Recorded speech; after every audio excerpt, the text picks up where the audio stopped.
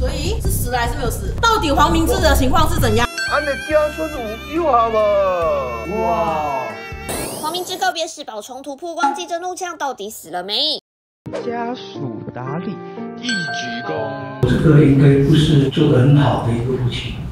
我曾经骂过他，用陈兵打过他，让他受到很难堪的事情都做过。当然，惩罚也不在话下。当然的一生开始我们的人生道路，到我们生命的领路，只有我们的生命是我们无法掌控的。明智的人生起起伏伏，有很巅峰的时刻，当然也很低潮的时候。无论他怎样的对骂人生，他的心性是善良的。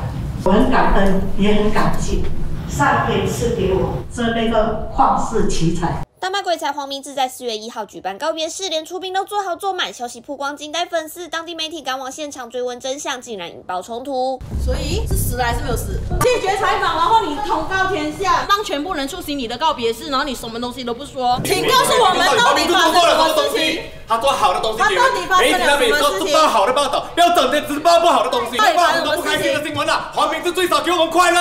四月一号不是拿来开玩笑的哦，你们把这件事情闹到这么大，你们需要。要给全马来西亚的华人听众一个交代哦。我现在在 plan 住哦，我想要做一个生前告别式，然后想要把它拍成纪录片这样。因为我发现到有一个东西是生前规划，想说我们生前的时候先做好东西告别这样子。果然是愚人节的假死计划，近日幕后花絮大公开。黄明志团队表示，主要提醒生前规划的必要，希望大家不要避讳讨论死亡，最重要的是珍惜身边的人。黄明志还显灵在自己的告别式里。当我离开以后，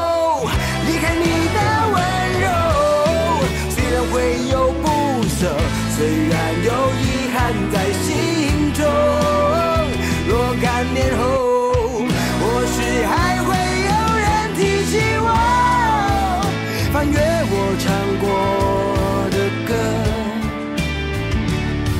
读着我向往的。自由。